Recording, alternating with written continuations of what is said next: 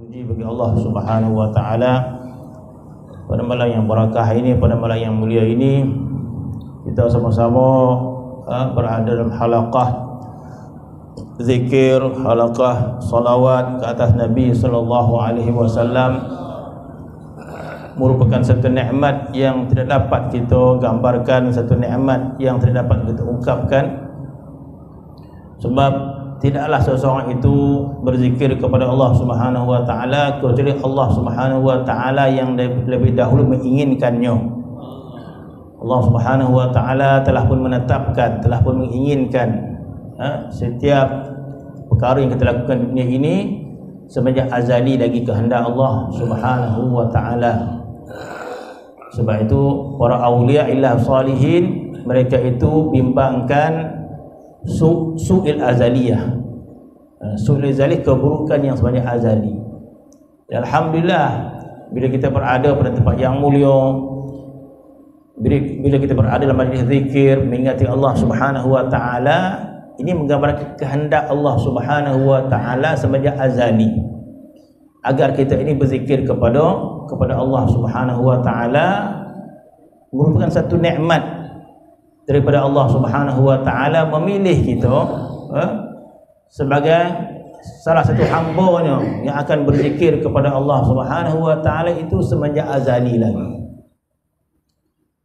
Dan Allah Subhanahu wa taala memberikan kepada diri kita itu keinginan, kesukaan untuk berzikir kepada Allah Subhanahu wa taala dan mudah-mudahan Allah Subhanahu wa taala menambahkan lagi kesukaan kita untuk berzikir kepada Allah Subhanahu wa taala sehingga kita dapat memahami makna zikir. Sehingga kita dapat memahami apakah rahsia di sebalik zikir tersebut. Sebab ketika mana kita berzikir kepada Allah Subhanahu wa taala maka Allah Subhanahu wa taala berikan kita rahsia-rahsia kefahaman tentang zikir tersebut.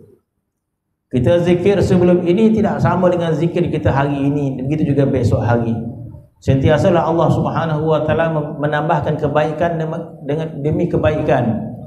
Tidak sama kita berzikir kepada Allah Subhanahu wa taala dengan sekadar mengingati nama Allah Subhanahu wa taala dengan orang yang berzikir kepada Allah Subhanahu wa taala dengan rasa mahabbah kepada Allah Subhanahu wa taala tidak sama.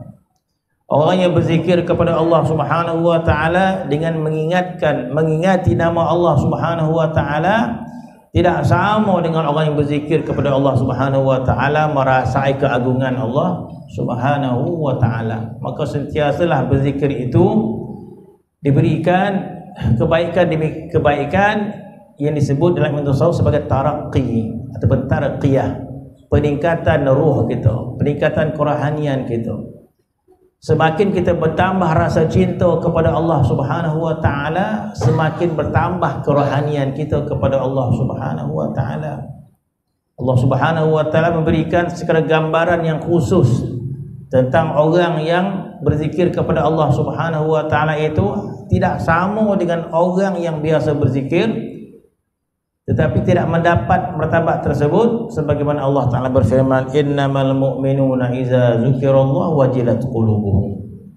Hanya saja orang mukmin itu bila menyebut nama Allah Subhanahu wa taala gemetar hati mereka berkobar-kobar hati mereka